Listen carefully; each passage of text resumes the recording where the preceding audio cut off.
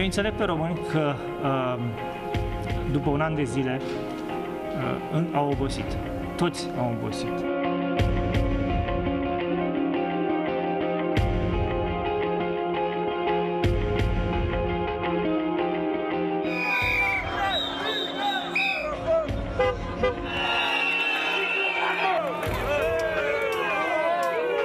Românii când stau în casă se îmbolnăvesc de frică, de faptul că nu uh, respiră aer curat.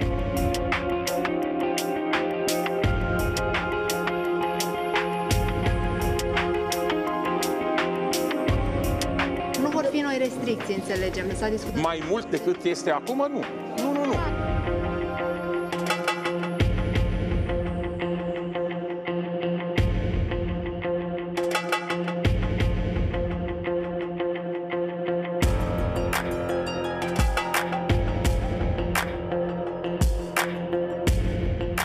Nici nu poate fi vorba, nici prin gând să nu ne treacă să facem astfel de comparații cu uh, oameni care depun la un moment dat o plângere și uh, ulterior dispar.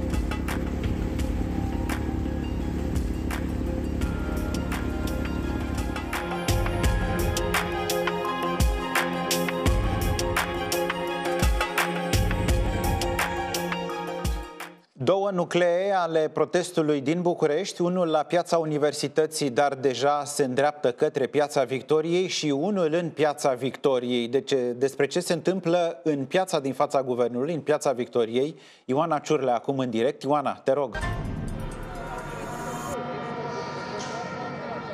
Cele două nuclee despre care vorbeai, Cosmin, tocmai s-au uh, întâlnit aici în fața guvernului, pentru că dacă mă uit în spate, văd că grupul mare de oameni care a plecat de la universitate către guvern, tocmai a ajuns aici. Uh, Prin urmare, și traficul este blocat, cel puțin parțial, pe bulevardul Ap- a- aviatorilor. Spun parțial pentru că probabil va dura acest blocaj doar până când oamenii reușesc să traverseze de pe Lascăr Catargiu, de unde veneau în drumul lor spre acest protest mare, i-aș putea spune, pentru că acum, dacă este să-i adunăm pe cei care erau deja aici și pe cei care au venit de la universitate, sunt probabil în jur de o mie de protestatari.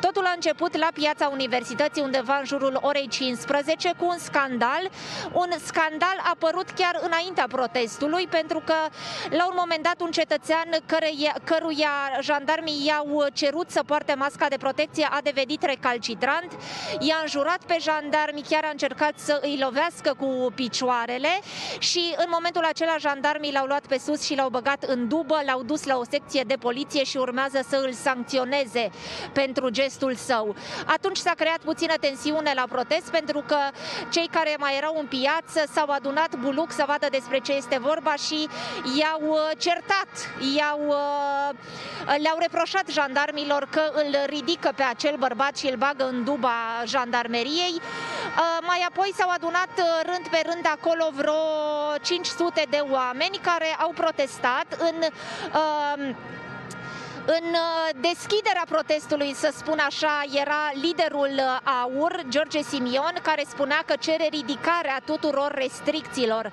Oamenii nu sunt uh, mulțumiți de restricțiile care au intrat ieri în vigoare. De altfel, știți că și aseară, imediat după ce a fost a intrat în vigoare acea restricție privind circulația, erau câteva sute de oameni care erau în stradă și protestau. În București, aseară, jandarmii au dat vreo 30 de amenzi, dar pentru că au fost proteste și în alte orașe din țară, spuneau reprezentanții Ministerului de Interne că până la urmă numărul sancțiunilor a ajuns la vreo 300. Deocamdată, în afară de incidentul de la universitate cu acel bărbat care a fost sancționat, nu știm ca jandarmii să mai fi aplicat și alte amenzi, cel puțin până în acest moment. Este un protest asumat de AUR și anunțat încă de la prânz, iar dacă vreți să vă mai vorbesc despre revendicările oamenilor, am auzit aici în stradă strigându-se pentru demiterea guvernului și se strigă în permanență despre ceea ce oamenii numesc dictatura medicală și dictatura guvernamentală.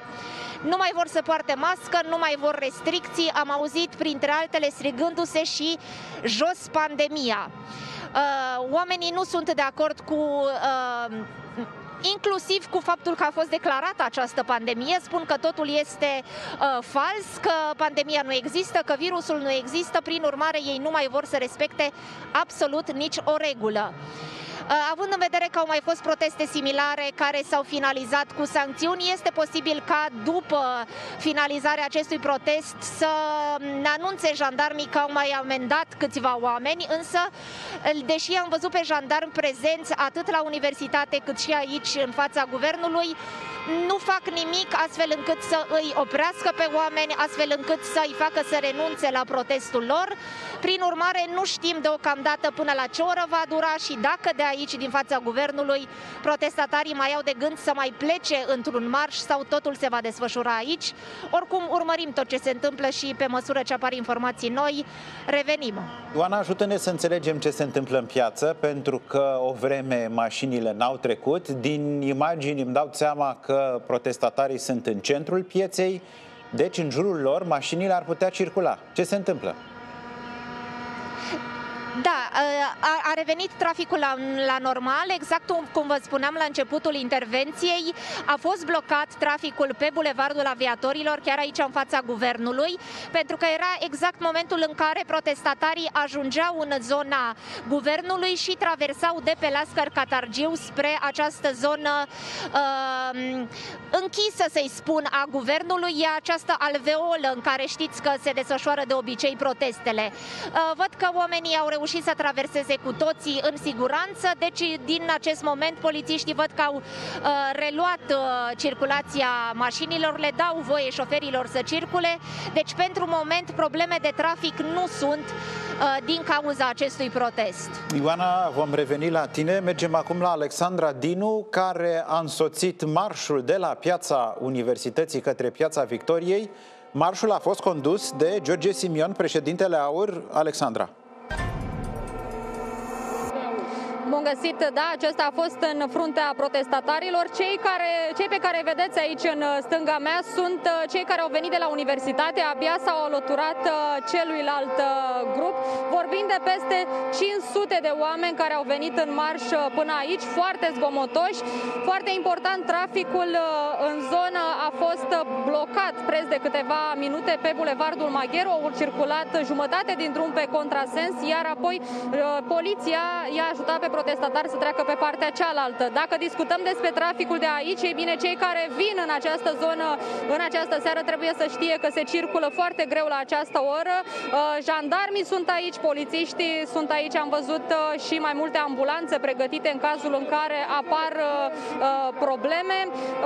Se străduiesc jandarmii să îi țină pe oameni aici în centrul pieței Victoriei pentru a nu ajunge în fața mașinilor care circulă în această zonă. Pe drum până aici, protestatarii au încurajat pe oameni să iasă la ferestre. Au fost, trebuie să vă spun, și oameni care i-au descurajat, au spus că nu sunt de acord cu uh, manifestația lor. Foarte nemulțumiți sunt aceștia de noile măsuri impuse de autorități. Noi vom rămâne aici cu ei și vom vedea până când uh, vor rămâne, pentru că știm deja, la ora 22 aceștia vor să meargă în fața Parlamentului. În piața Constituției. Mulțumesc, Alexandra Dinu, un grup destul de heterogen de oameni, pentru că din ce ne spunea mai devreme Ioana Ciurlea, uh, uh, um, revendicările sunt uh, diverse.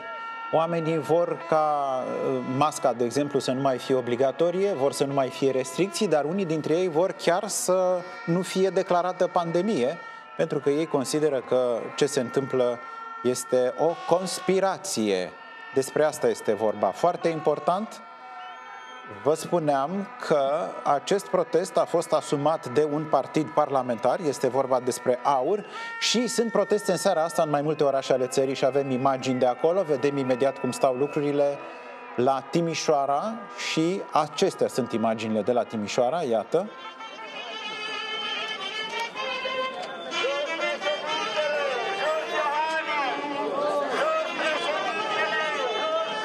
Iar acestea sunt imagini de la Brașov, protest organizat de AUR și la Brașov.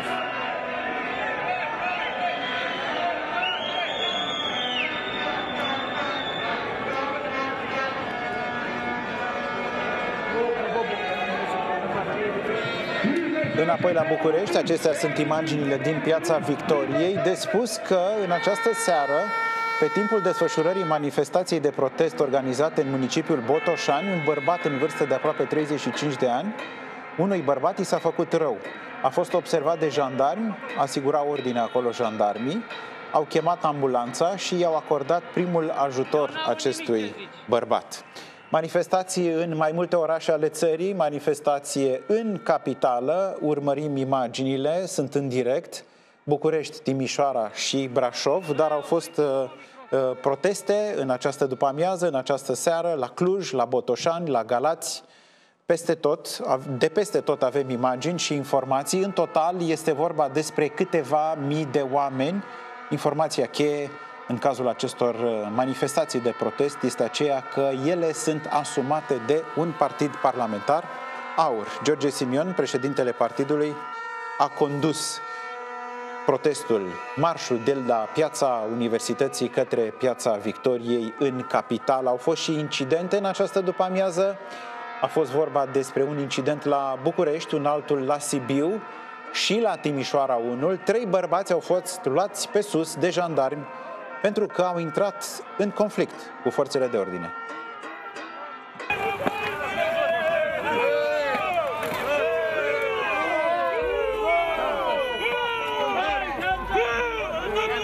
La București, unul dintre protestatari a intrat în conflict cu jandarmii înainte ca protestul să înceapă. Bărbatul care nu purta mască a refuzat să se legitimeze, iar de aici până la îmbrâncel și lupte corp la corp cu jandarmii a fost numai un pas. Haideți, vă rugăm frumos, lăsați colegii mei să facă treaba. Militarii au avut nevoie de câteva minute bune pentru a-l duce pe bărbat în dubă, timp în care mai mulți oameni care erau în piață au sărit în apărarea lui. Așa instigați oamenii Până la urmă, bărbatul a fost dus la poliție. Numărul protestatarilor din capitală a crescut de la o oră la alta și a ajuns de ordinul sutelor, majoritatea fără mască, așa cum a fost și liderul aur, cel care a organizat protestele. Să se închidă magazinele la ora 6, nu o să facă decât să crească cazurile, să uh, blocheze circulația și să, să înspăimânte românii. Românii când stau în casă se îmbolnăvesc de frică, de faptul că nu uh, respiră aer curat, că nu ies. Nu credem că dreptul la protest, dreptul la educație și alte drepturi fundamentale trebuie condiționate de starea medicală. Incidente au fost și la protestele de la Sibiu.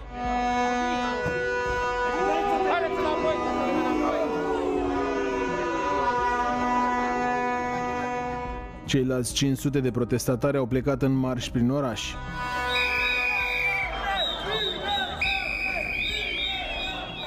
Și la Cluj-Napoca, peste 100 de oameni s-au adunat în fața prefecturii.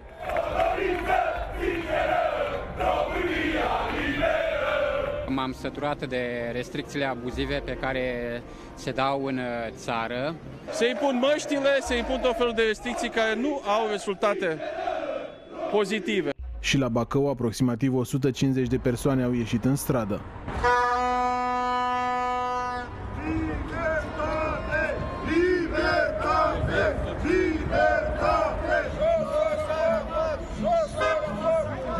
Aproximativ 300 de protestatari s-au strâns la Constanța.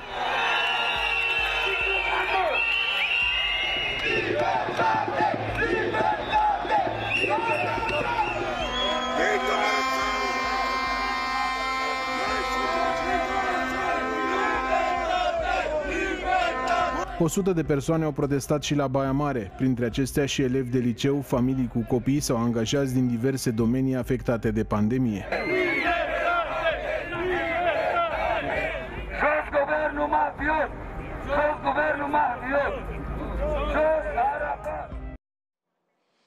Și reacția autorităților, comentariile făcute astăzi în legătură cu protestele pe care le-am văzut. Protestele rând... de aseară au crescut numărul de infectări? Nu vorbesc de protestari. Nu vor fi noi restricții, înțelegem. S-a discutat Mai mult decât este acum, nu. Românii pot să protesteze atât timp cât protestează, cât nu încalcă legislația în vigoare. Eu înțeleg pe români că um, după un an de zile uh, au obosit. Toți au obosit. Ne-am luptat cu pandemia de un an de zile.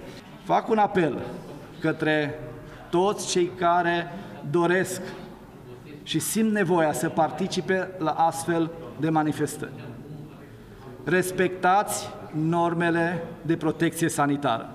Este dreptul vostru să participați la astfel de proteste, dar nu puteți pune în pericol sănătatea celor din jur. Virusul face rău, îi invit la un tur ghidat în uh, uh, secții de terapie intensivă, respectiv în spitale, să vadă, cum, uh, să vadă ceea ce se întâmplă acolo și cât de greu le este medicilor uh, și uh, asistentelor și infirmierilor și ambulanțierilor.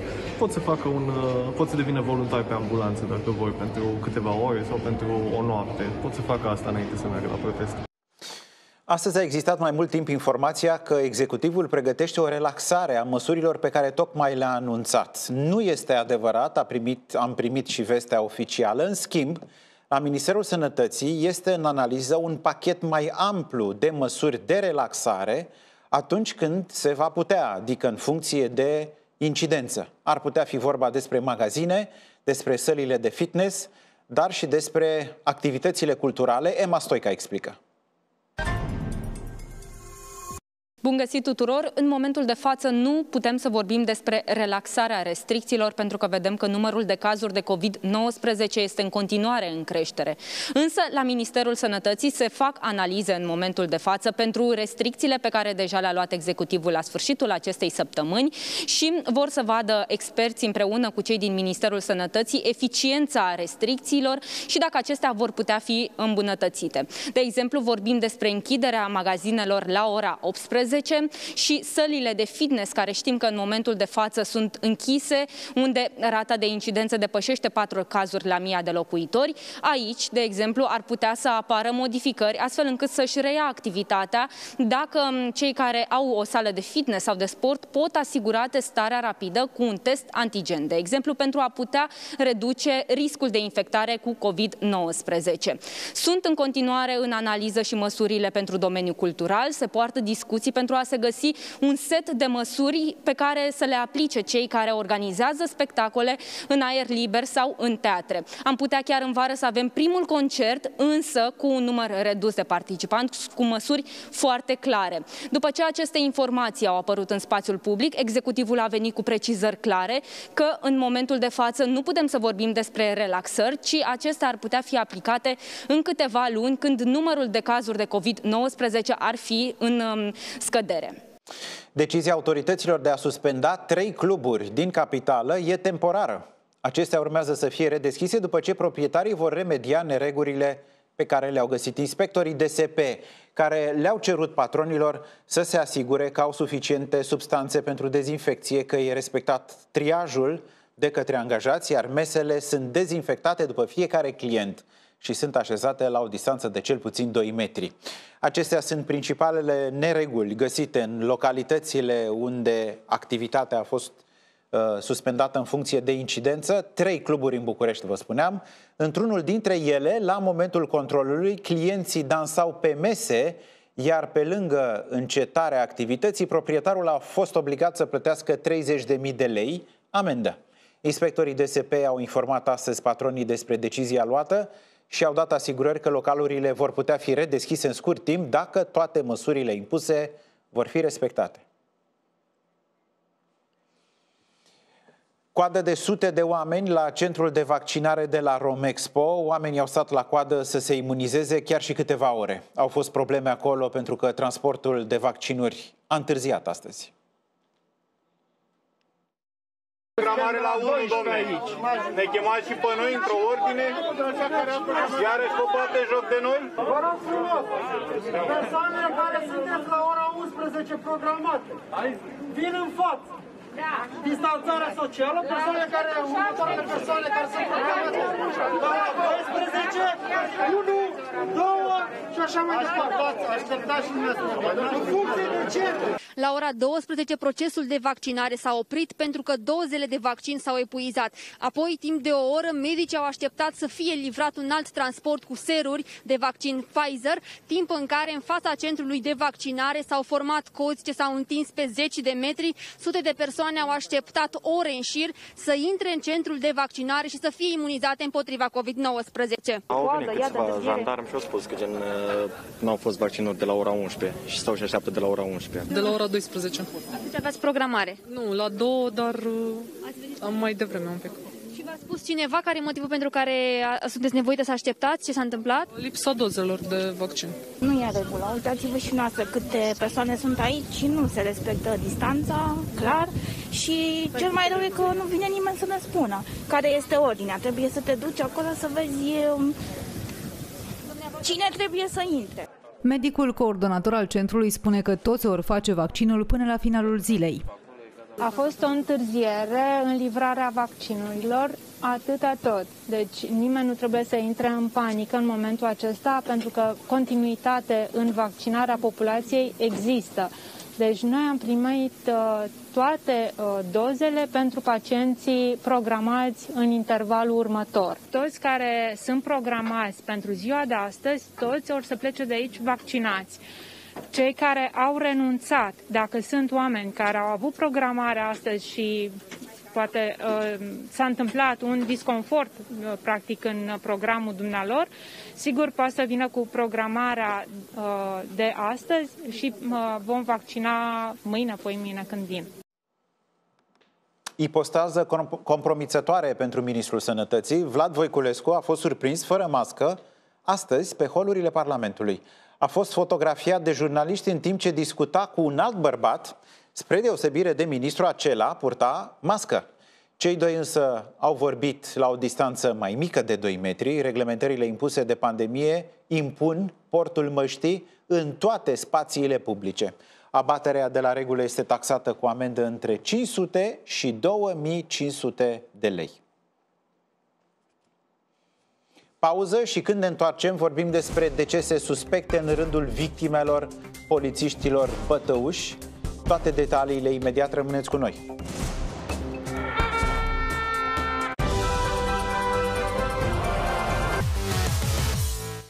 Informații noi din Piața Victoriei. Este în plină desfășurare un protest aur. Oamenii sunt acolo pentru că nu mai vor restricții. Unii dintre ei vor chiar ca pandemia să fie încheiată, pur și simplu, printr-o declarație. Ce vedeți acum?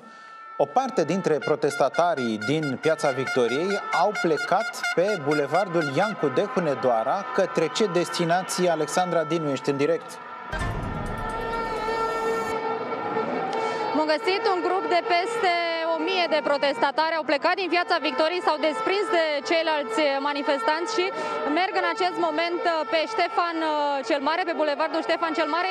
Nu știm încă unde se vor duce acești protestatari, uh, pentru că ei, potrivit programului pe care l-au transmis, la ora 22 ar fi trebuit să plece în piața Constituției, însă iată că de, au decis să meargă în altă parte. Vă spuneam că sunt uh, foarte mulți, coloana se întinde pe mai bine de uh, 2 km, mașinile nu mai circulă în acest moment pe aici, uh, din pasajul Victoriei nu se mai poate ieși pentru că uh, grupul de protestatari blochează traficul. Da, așa cum spuneai și tu, sunt uh, foarte nemulțumiți de restricțiile impuse de autorități. Aceștia nu mai vor să poarte mască de protecție. Dacă ne uităm la imagini, se vede că foarte mulți dintre ei nu poartă în acest moment o mască de protecție, deși se află în interiorul unei mulțimi. De asemenea, sunt uh, nemulțumiți de noile restricții care au intrat în vigoare de aseară, că trebuie să intre mai repede în casă, că magazinele se vor închide mai devreme. Noi vom rămâne aici cu ei, vom merge în continuare cu ei și vom vedea unde vor să meargă protestatarii, pentru că, așa cum spuneam la început, în acest moment destinația lor este necunoscută. Nația lor este necunoscută. Înapoi, în Piața Victoriei, despre ce se întâmplă acolo, Ioana Ciurlea în direct. Ioana, te rog. Jumătate dintre protestatari aș uh, aproxima au rămas aici în fața guvernului să protesteze. A fost la un moment dat acel moment în care uh, o parte dintre ei uh, au plecat, nu știm deocamdată spre ce destinație și din nou câtă vreme oamenii au traversat strada spre bulevardul Lascar Catargiu a fost iarăși timp de vreo 10 minute blocat traficul pe bulevardul aviatorilor, însă odată ce oamenii au traversat și au pornit la drum, um, traficul a revenit la normal. Aici au mai rămas, aș zice, vreo 4-500 de oameni care protestează în continuare, îi aud uh, suflând în acele vuvuzele, i-am auzit mai devreme strigând unitate și libertate și strigă și împotriva guvernului pentru că știți deja ei sunt uh, total împotriva acestor noi restricții care au intrat de ieri în vigoare și nu mai vor nici să poarte masca, nici să păstreze distanța, nici să uh, respecte acest uh, orar în care oamenii au voie să iasă din casă. Spun că pandemia nu este reală, că este o invenție și că guvernanții și-ar propune, în opinia lor, doar să le dicteze niște măsuri dictatoriale uh, în semn de pedeapsă. Am auzit inclusiv acest lucru strigându-se că uh, guvernanții îi tratează ca pe niște infractori pe care încearcă să îi pedepsească. Ca și la alte proteste ale negaționiștilor, am auzit strigându-se și împotriva ceea ce oamenii numesc dictatura medicală. Le spun negaționiști pentru că oamenii nu mai vor absolut nicio regulă și nici nu cred, de fapt, în uh, eficacitatea acestor reguli și în faptul că uh, virusul există și că este unul periculos. Jandarmii sunt și ei în continuare în dispozitiv, au făcut un fel de uh, gard să spun așa, uh, încearcă să-i țină pe oameni într-un perimetru anume, să nu mai iasă pe stradă, însă la cum arată lucrurile acum, uh, nu pare că cineva mai vrea să mai plece în marș de aici. Cred că cei care au o altă destinație au pornit deja, iar uh, cei care au rămas aici vor să țină și acest spațiu ocupat. Vă spuneam și la intervenția precedentă că este un protest asumat de aur. I-am văzut pe ambii lideri ai partidului, atât la protestul de la universitate, cât mai apoi și aici în piața uh, Victoriei și uh, acestui protest asumat de partid uh, li s-au alăturat uh, oamenii mai întâi la universitate și apoi aici în fața guvernului. Ce poți să ne spui despre sindicaliștii de la metrou? Mai devreme îl vedeam pe Ion Rădoi. Ce s-a întâmplat? Da, sunt și câțiva angajați ai metroului. Nu este clar dacă ei fac parte din sindicat sau dacă sunt pur și simplu angajați de la metrou care înțelegem că ar fi nemulțumiți de faptul că, deși au existat discuții la finalul săptămânii trecute, vineri, atunci când au făcut acea grevă spontană care a blocat tot traficul, acum uh, angajații de la metrou, o parte dintre ei, spun că, de fapt, acele negocieri pentru reluarea discuțiilor nu s-au concretizat concretizat că astăzi, într-o zi de luni, deși așteptau să fie chemați la discuții, nu i-a chemat nimeni. Nu mi este foarte clar pentru că mi-e greu să-i disting. Nu mi este foarte clar cât sunt ei, dacă sunt într-un număr foarte mare sau dacă sunt doar câteva zeci. Însă l-am văzut mai devreme pe Ion Rădoi, pe liderul sindicatului, care uh, spunea că nemulțumirea este în continuare în rândul angajaților de la metrou și că uh, nu se știe în continuare cum vor reacționa oamenii. Chiar l-am întrebat dacă se așteaptă la anumite de fapt, dacă sunt atentă și sunt, cred că exact cei pe care îi vedem acum în imagini sunt sindicaliști sau, mă rog, angajați de la metrou, pentru că, da, îl văd pe Ion Rădoi în fruntea lor. Deci, probabil că acest grup de oameni pe care îl vedeți acum în imagini sunt cei care au legătură cu metroul și nu cu pandemia, doar că s-au alăturat uh, protestului care era deja în desfășurare aici în fața guvernului și revenind la ce spunea liderul sindical de la metrou, spunea că el nu are nicio legătură cu acea grevă, cu greva de vineri, că el era în concediu atunci și că nu a vrut să implice sindicatul în acel uh, protest. De altfel spunea, întrebat fiind dacă se așteaptă să mai existe uh, Lucrurile sunt un pic impre imprevizibile și o să încerc să vă descriu ce se întâmplă. Îi văd acum pe oameni în număr mare încercând să iasă în stradă, cred. Nu-mi dau seama exact ce se întâmplă. Nu se, uh, nu-mi dau seama exact ce se întâmplă. Uh, văd că ies în stradă, sunt însă însoțiți de jandarmi. Deci jandarmii le deschid calea, vor să plece spre Arcul de Triunf, din ce îmi dau seama acum. Uitându-mă ce rămâne în piață, e clar că mare parte dintre protestatari erau de fapt angajați de la guvern. Uh, vă mărturisesc, mi-e foarte greu să-mi dau seama din ce categorie fac parte protestatarii. Probabil că cu angajații de la metrou și cu acest marș uh, care se întâmplă acum sub ochii noștri și care nu știm exact spre ce se îndreaptă Probabil pleacă și ceilalți protestatari, deci îi vedem acum traversând bulevardul aviatorilor și îndreptându-se spre metrou, cred, dar nu sunt foarte sigură. Sunt și destul de departe de, moment, de locul în care sunt ei acum. Da, se pare că coboară oamenii la stația de metrou de aici, de la aviatorilor. Aș încerca să fac cumva să mă apropii mai mult de ei. Uh, da, îi văd acum opriți exact în fața stației de metrou de la aviatorilor, aici undeva uh, pe colțul străzii Paris. Sunt câteva zeci, câteva sute de oameni, sunt vreo 300 de oameni care sunt acolo. Mă uit în spate și văd că și în piață au mai rămas vreo 2-300 de oameni care totuși se pare că nu, are, că nu au nicio legătură cu protestul uh, angajaților de la metrou. Acum, da, îmi dau seama că de fapt s-a oprit acolo la gura de metrou și continuă probabil să scandeze acolo.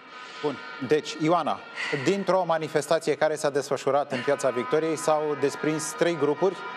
Unul a rămas în Piața Victoriei, un altul merge pe bulevardul uh, uh, Iancu de Hunedoara, apoi Ștefan cel Mare, nu știm către ce destinație, știm că acolo este stadionul Dinamo. Știm că este IGPR-ul mai, mai departe pe șoseaua Ștefan cel Mare. Și un al treilea grup, iată, îl avem acum în imagini, merge către stația de metrou Victoriei, ieșirea, aceea este gura de la Bulevardul Aviatorilor. Știm cu precizie că în mobilizarea pe care au făcut-o pe Facebook uh, muncitorii, angajații metroului, au vorbit precis despre această gură de metrou. Unii dintre ei au coborât în subteran, alții văd că au rămas la suprafață v-aș lăsa pentru că cred că e important să aflăm ce se întâmplă în stația de metrou. Nu de alta, dar văd că mare parte dintre cei din piața Victoriei s-au îndreptat către metrou. Pare că acolo este punctul lor de interes. Vă lăsăm și cu siguranță ne întoarcem la voi. Avem nevoie de informații și imagini.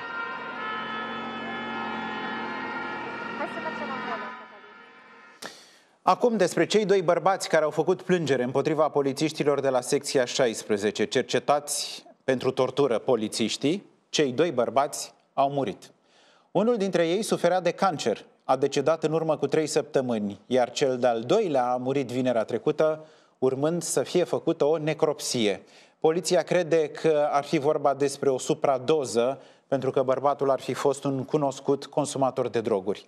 Cele două decese nu sunt considerate suspecte. Cât privește ancheta ce vizează pe cei nouă polițiști de la secția 16, acuzați de tortură și purtare abuzivă, aceasta continuă. Majoritatea celor puși sub acuzare au recunoscut faptele de la primele audieri.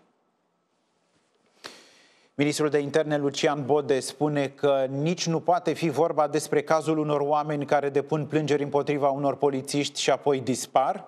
Ministrul a dat asigurări că va face ordine la secția 16.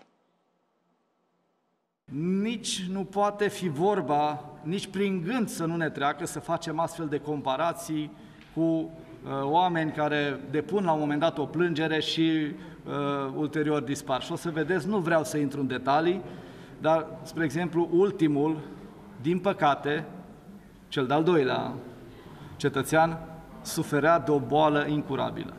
Și nu vreau să intru în alte detalii, familia uh, a comunicat aceste lucruri și nu dorește să facă alte comentarii, ceea ce cred că și noi, pe noi trebuie să ne determine să le respectăm această dorință. Deci, până la urmă, uh, se poate prezenta public cauza decesului, evident, pentru a nu exista astfel de suspiciuni, dar vă asigur că la secția 16 voi face ordine. Sunt din nou probleme pe autostrada A3 la Nădășelu. Dealul de la kilometrul 52 s-a surpat. Șoferii trebuie să circule cu maximum 60 de km pe oră. CNAIR transmite că știe de situație, că au mai fost alunecări de teren în zonă, iar tronsonul este încă în garanție, deci constructorul trebuie să remedieze problema.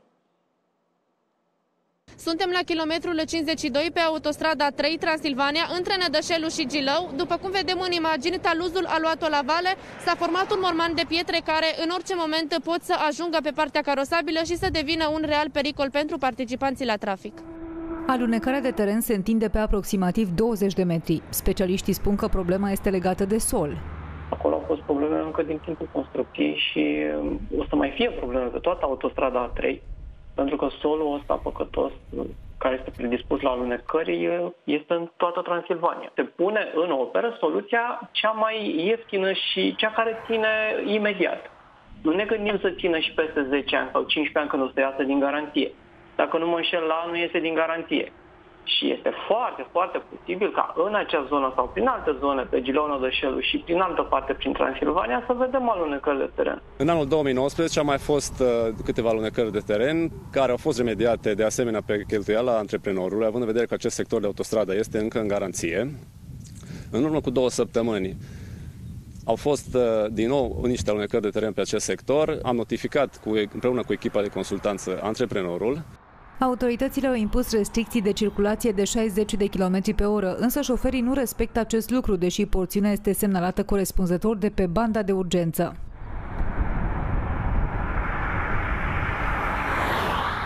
Cu siguranță va acționa, nu, nu fac griji că nu o să acționeze, pentru că e destul de clar, există o garanție depusă pentru pentru treaba asta, adică el trebuie să-și, este încă sub contract, trebuie să-și uh, adică este obligat. contractuale. Este obligat, absolut, și de contract și uh, nu, nu se pune problema să nu remedieze și ar trebui să remedieze destul de repede, totuși un constructor serios. Fenomene de, de, de îngheți, de zgheți, de asemenea și precipitațiile abundente sunt un factor care favorizează aceste alunecări de teren, dar nu ne putem încă exprima exact în acest sens până nu se execută expertiza tehnică. Tronsonul dintre Gileu și Nădășelu, lung de 8,7 km, a fost numit Autostrada Muzeu, deoarece a fost mereu problematic și a fost dat în folosință târziu, după 2 ani ce constructorul a terminat asfaltarea. Imediat după o scurtă pauză, ultimele informații din Piața Victoriei.